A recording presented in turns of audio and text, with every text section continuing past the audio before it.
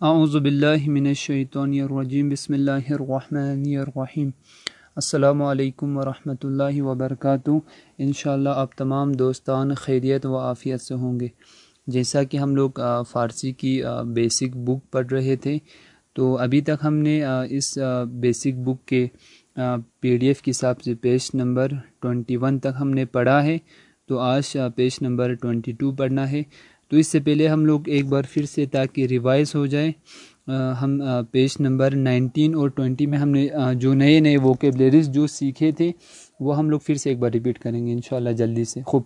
तो आप लोग पेज नंबर फ़िलहाल के लिए पेज नंबर आप लोग ट्वेंटी खोले पेज नंबर ट्वेंटी। तो अलिफ में हमने जो पिक्चर्स जो सीखे थे नए नए वर्ड्स वो हम एक बार फिर से उन वोकेबलरीज को दोहराएँगे। तो अनार को कहा जाता है फ़ारसी में पेज नंबर ट्वेंटी। अनार को कहा जाता है फ़ारसी में अनार। घोड़े को कहा जाता है फ़ारसी में क्या कहा जाता है? अस्प। खूब। पानी को फ़ारसी में क्या कहा जाता है? आब। आसमान को फ़ारसी में क्या कहा जाता है? आसमान। खूब। इसके बाद नीचे वाला फ़ोटो ये पिक्चर हमें नहीं मालूम हुआ था। खूब। इसके बाद नीचे जो फ़ोटो है स्विमिंग पूल तो स्विमिंग पूल को फ़ारसी में क्या कहा जाता है? शाबाश, आप लोग कोशिश करें, मैं जो बीच में रुक रहा हूँ तो उसमें आप लोग कोशिश करें जवाब देने की। खूब। तो स्विमिंग पूल में फ़ारसी में स्विमिंग पूल को फ़ारसी में क्या कहा जाता है? इस्तखर। खूब। इसके बाद आगे, ईरान। ईरान को फ़ारसी में क्या कहा जाता है? ईरान। खूब। इसके बाद बस स्टॉप बस स्टॉप को फ़ारसी में क्या कहा जाता है? इस्तगाह खूब। इसके बाद आगे, कमरा, रूम। कमरे को फ़ारसी में क्या कहा जाता है? उथाक। खूब। इसके बाद स्त्री। स्त्री को फ़ारसी में क्या कहा जाता है? उथू। खूब। इसके बाद आगे, उगांडा। ये जो कंट्री है तो उगांडा को फ़ारसी में क्या कहा जाता है? उगांदा खूब। इसके बाद आगे जब हम किसी को इशारा करें, कोई दूर हो, जिसको हम उर्दू में कहते हैं, वो। तो वो को फ़ारसी में क्या कहा जाता है? ऊ, खूब। इसके बाद जो अगला पेज है, आप लोग खोले पेज नंबर ट्वेंटी वन जिसको हमने पढ़ा था पिछली रिकॉर्डिंग में। तो यहाँ पे भी जो वर्ड्स हमने बा के मुतालिक जो सीखे थे, बा बा, बे, बो, बा, बी, बू तो इसमें भी जो नए नए वोकेबलरीज सीखे थे, वो हम फिर से एक बार रिपीट करेंगे। खूब। तो सबसे पहले यहाँ पे जो पिक्चर है फ़ोटो वो है दरख्त के पत्ते का। तो पत्ते को फ़ारसी में क्या कहा जाता है? शाबाश। फ़ारसी में क्या कहा जाता है? पत्ते को बर्ग। खूब। बेरे गाफ बर्ग। खूब। इसके बाद नीचे वाला फ़ोटो, आइसक्रीम। आइसक्रीम को फारसी में क्या कहा जाता है? बस्तनी। खूब। इसके बाद आगे, बारिश। बारिश को फारसी में क्या कहा जाता है? बारान। इसके बाद अगला फ़ोटो, हवा। या या विंड जिसको इंग्लिश में कहते हैं। तो हवा को फारसी में क्या कहा जाता है? बाद। बे अलिफ दाल बात। इसके बाद नीचे वाला फ़ोटो। चावल। चावल को फ़ारसी में क्या कहा जाता है? बेरेंज। खूब। इसके बाद अगला फ़ोटो, पेट्रोल। पेट्रोल को फ़ारसी में क्या कहा जाता है? बेंजीन। बे नून, जे ये नून, बेंजीन। इसके बाद अगला फ़ोटो, बीमार। बीमार को फ़ारसी में क्या कहा जाता है? ये तो सबको मालूम होगा कि बीमार को फ़ारसी में बीमार ही कहते हैं। खूब। इसके बाद अगला फ़ोटो नीचे, नाक या नोस। तो नोस को फ़ारसी में क्या कहा जाता है? शाबाश। हाँ फ़ारसी में नोस को कहा जाता है बीनी। खूब। इसके बाद अगला फ़ोटो हीटिंग जो सिस्टम है या हीटिंग मशीन है तो इसको फ़ारसी में क्या कहा जाता है? बुखारी। इसके बाद नीचे, थाली या प्लेट। तो प्लेट को फ़ारसी में क्या कहा जाता है?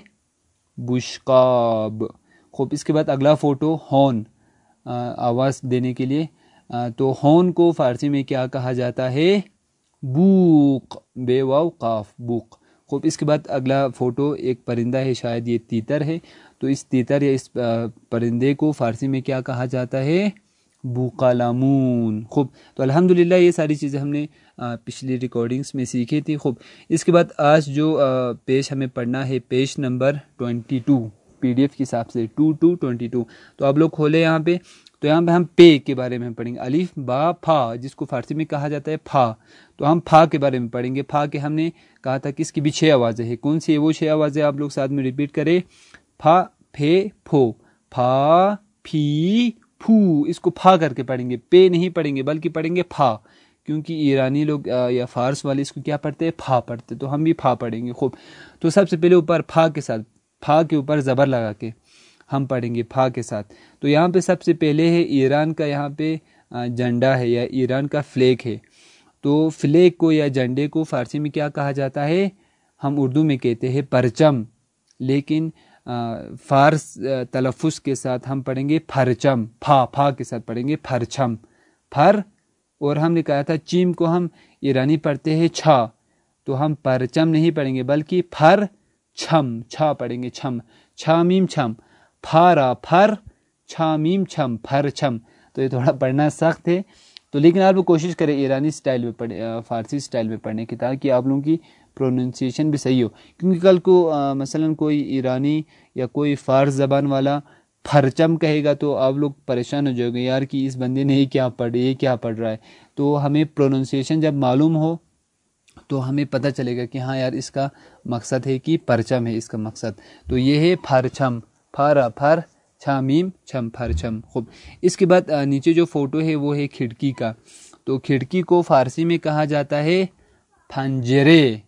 फंजरे, जिसको हम अमूमन पढ़ते एक जो जो मसलन केच जिसको इंग्लिश में कहते हैं जिसे हम किसी चिड़िया या किसी परिंदे को वहाँ पे हम रखते हैं कैद करके जिसको हम कहते हैं पिंजरा कहते हैं उर्दू में। तो फ़ारसी वाले खिड़की को कहते हैं फंजरे।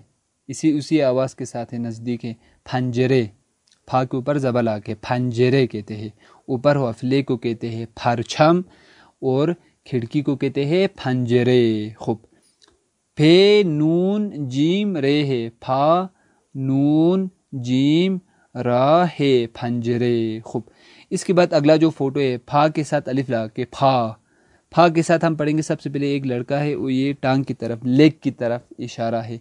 तो ये जो टांग है या लेग है, इसको फारसी में कहा जाता है फा। इसको फा ही कहते हैं।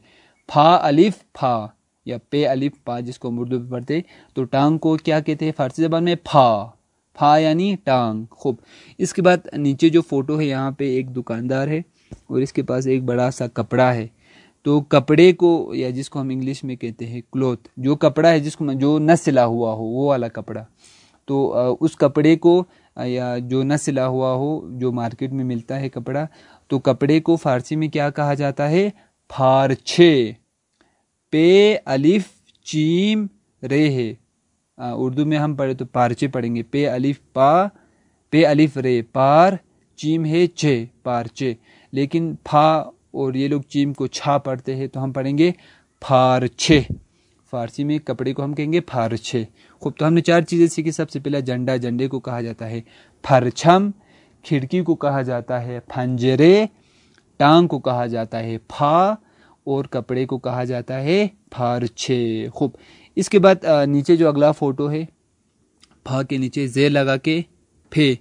तो फे में सबसे पहले यहाँ पे एक लड़का है, लड़के की तरफ़ निशान, इशारा, यहाँ पे निशान किया गया है। तो लड़के को फारसी में कहा जाता है फेसर। उर्दू में हम पढ़ते हैं पेसर। पे, सीन, रे, पेसर। लेकिन तलफ़ अगर हम ईरानी तलफ़ रखें तो हम पे नहीं पढ़ेंगे, बल्कि पढ़ेंगे फा। तो ये फा के नीचे जेर है तो फे पढ़ेंगे। तो हम पढ़ेंगे फेसर। फेसर फेसर यानी लड़का बॉय खूब। इसके बाद नीचे जो फ़ोटो है, यहाँ पे वालिद की तरफ़ इशारा किया गया है, फादर की तरफ़ या बाप की तरफ़, जिसको हम वालिद या बाप कहते हैं। तो वालिद को फ़ारसी में कहा जाता है फेदर फे दाल रे, या उर्दू ज़बान में पे दाल रे, पिदर। उर्दू में हम कहेंगे, लेकिन फ़ारसी तलफ़ या फ़ारसी प्रोनाउंसिएशन प्रोनाउंसिएशन के साथ हम पढ़ेंगे फेदर फे दाल रे, फेदर, खूब। इसके बाद जो अगला फ़ोटो है, फा के साथ या लगा के हम पढ़ते हैं फ़ी, फा, फ़ी, फू। तो फ़ी फ़ी के साथ दो फ़ोटोज़ यहाँ पे है। सबसे पहले एक यहाँ पे एक शर्ट है, एक कमीज़ है। तो इस कमीज़ को फ़ारसी ज़बान में या इस शर्ट को फ़ारसी ज़बान में कहा जाता है फीराहन। पे ये फ़ी या फ़ारसी तलफ़ के साथ। फा या फ़ी, रे अलिबरा फ़ी रा हेनुन हन फीराहन तो शर्ट को क्या कहा जाता है फारसी ज़बान में? फीराहन खूब। इसके बाद नीचे जो फ़ोटो है, यहाँ पे एक बच्चा है, उसके माथे की तरफ़ यहाँ पे निशान किया गया है। तो माथे को फ़ारसी ज़बान में क्या कहा जाता है? फीशानी फीशानी या उर्दू में हम जो पढ़ते हैं, पीशानी। तो फ़ारसी तलफ़ के साथ हम पढ़ेंगे फ़ा। फ़ी। फे ये फ़ी। शीन अलिप शाह फ़ी शाह नून ये नी फीशानी या पीशानी तो कोशिश करें आप लोग फीशानी पढ़ने की फ़ारसी तलफ़ के साथ। खूब तो चार चीज़ें हमने फिर से सीखी। सबसे पहला हमने पढ़ा कि जो लड़का है या बच्चा है, उसको कहा जाता है फ़ारसी ज़बान में फे के साथ फेसर, और वालिद साहब को कहा जाता है फे के साथ फेदर, और जो कमीज़ है, उसको कहा जाता है फ़ी रोहन, और जो माथा है उसको कहा जाता है फीशानी खूब। इसके बाद नीचे जो अगला फ़ोटो है, यहाँ पे फा के ऊपर पेश लगा के फो, जिसको हम पढ़ते हैं। फा फे फो। तो फो के साथ दो फ़ोटो से सबसे पहले यहाँ पे एक ऑरेंज है, एक संतरा है। तो इस ऑरेंज को फारसी जबान में कहा जाता है फुरथेकाल फुरथेकाल पेरे फुर या पेरे फुर ते, काफ, अलिफ, लाम थेकाल फुरथेकाल तो फारसी स्टाइल में या फारसी तलफ़ के साथ हम पढ़ेंगे, फो, फा, फे, फो फुरथेकाल फोर, इसके बाद ते है ते को मैंने कहा था कि ईरानी पढ़ते था तो हम पढ़ेंगे फोर, थे। फुर, क्योंकि ता के नीचे जे ला के पढ़ेंगे, था, थे, थो तो फुरथकाल इसको पढ़ेंगे। पे, रे, ते, काफ अलिफ्लाम फुरथकाल ऑरेंज को कहा जाता है फुरथकाल खूब।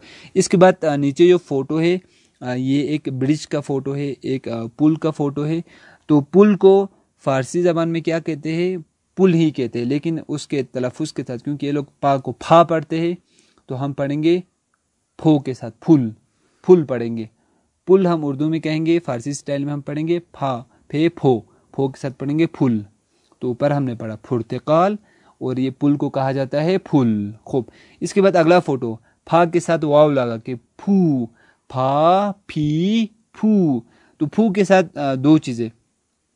तो सबसे पहले यहाँ पे आप देखें, फ़ोटो में यहाँ पे देखें यहाँ पे ये लोग चमड़ा बता रहे इनका मकसद जो है, क्योंकि यहाँ पे एक सेब भी है, सेब का इन्होंने जो छिलका है, और दूसरा यहाँ पे आप देखें, एक आदमी का हाथ है तो हाथ का यहाँ पे जो ऊपर का जो स्किन है या चमड़ा है तो उसकी तरफ़ निशान किया गया है।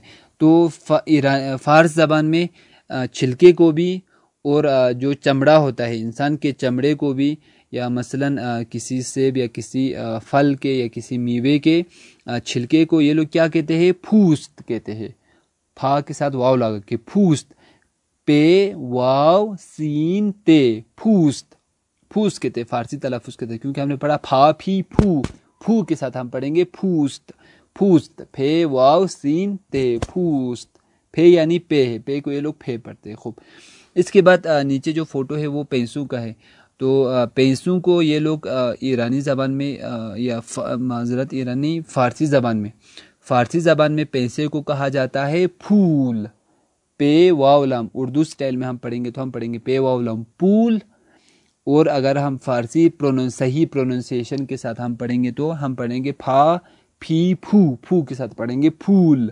फूल फूल यानी पैसे। खूब। तो हमने चार चीज़ें सीखी फिर से, अल्हम्दुलिल्लाह।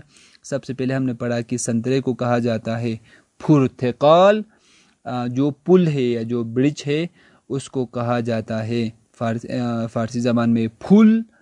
और उसके बाद हमने कहा कि चमड़ा या, या किसी मीवे का जो छिलका है या किसी सब्ज़ी का जो छिलका है उसको कहा जाता है फूस्त। फूस यानी फ़कत चमड़े और मेवे के छिलके को ही नहीं बल्कि मसलन कोई भी चीज़ हो जिसका बाहर कोई कवर हो या मसलन इस तरह से छिलका हो तो उन सबको, चाहे सब्ज़ी हो, मेवा हो, जो भी हो तो उस सबको फ़ारसी ज़बान में कहा जाता है। फूस्त और जो पैसे है, उसको फ़ारसी ज़बान में कहा जाता है फूल। खूब। तो अल्हम्दुलिल्लाह इसके साथ ये जो पेज था, वो अल्हम्दुलिल्लाह कंप्लीट हुआ। तो यहाँ पे एक बार हम रिवाइज़ करते जो चीज़ें आज हमने सीखी, ताकि आप लोगों को एक रिवीजन हो जाए। खूब। तो आप लोग कोशिश करें जवाब देने की। मैं बीच में दो तीन सेकंड के लिए रुक जाता हूँ। खूब। सबसे पहले हमने ऊपर पढ़ा जो झंडा है फ्लैग है, उसको फारसी में क्या कहा जाता है? शाबाश, फारछम। खूब। इसके बाद खिड़की। खिड़की को फारसी ज़बान में क्या कहा जाता है? फंजरे। खूब। इसके बाद बच्चे की टांग है यहाँ पे। तो लेक या टांग। तो टांग को फारसी ज़बान में क्या कहा जाता है? फा। खूब, इसके बाद कपड़ा। कपड़े को फ़ारसी ज़बान में क्या कहा जाता है? फारछे। शाबाश, अगर जिसने सही जवाब दिया हो, उसके लिए शाबाशी माशाल्लाह। खूब। इसके बाद नीचे है लड़का या बॉय इंग्लिश में जिसको कहते हैं बेटा। तो या ये बच्चा। तो बच्चे को फ़ारसी ज़बान में क्या कहा जाता है? फेसर। और उसके बाद है वालिद। वालिद साहब को फ़ारसी में क्या कहा जाता है? फेदर। खूब, इसके बाद अगला फ़ोटो शर्ट का या कमीज़। कमीज़ को फ़ारसी ज़बान में क्या कहा जाता है? फीरोहन। इसके बाद है माथा। माथे को फ़ारसी ज़बान में क्या कहा जाता है? फीशानी। खूब। इसके बाद नीचे है संतरा या ऑरेंज तो ऑरेंज को फ़ारसी ज़बान में क्या कहा जाता है? फुरथकाल खूब। इसके बाद अगला जो फ़ोटो है, वो है पुल का। तो पुल को फ़ारसी ज़बान में क्या कहा जाता है? फुल। खूब। इसके बाद अगला फ़ोटो है चमड़ा या छिलका। तो यह चमड़े और छिलके को फ़ारसी ज़बान में क्या कहा जाता है? फूस्त। और उसके बाद है पैसे। पैसों को फ़ारसी ज़बान में क्या कहा जाता है? फूल। तो अल्हम्दुलिल्लाह इसके साथ ये जो हमारी बुक है, इसका page number twenty two complete हुआ इन तो आइंदा तोफ़ी हुई तो अगली रिकॉर्डिंग्स में जो अगले जो पेजेस या लेसन हैं इन उनको हम पढ़ेंगे। वसलकम वरहमल वर्का